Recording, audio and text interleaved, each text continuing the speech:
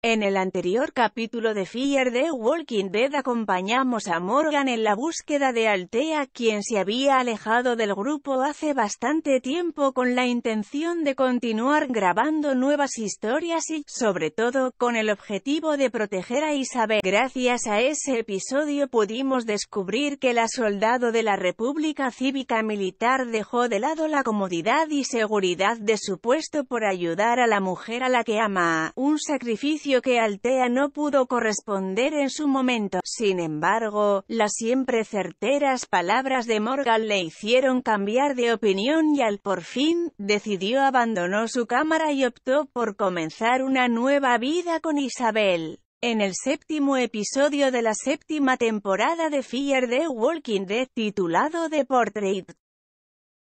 que podemos ver en VOS la madrugada del domingo al lunes y doblado al castellano cada lunes por la noche a las 10 y 10 de la noche horas en AMC España. Morgan acude a Strand rogado ayuda cuando la pequeña Mo cae enferma. Sin la atención de Jun, la niña probablemente no sobrevivirá por lo que el último recurso es acceder a los recursos que se encuentran en la torre.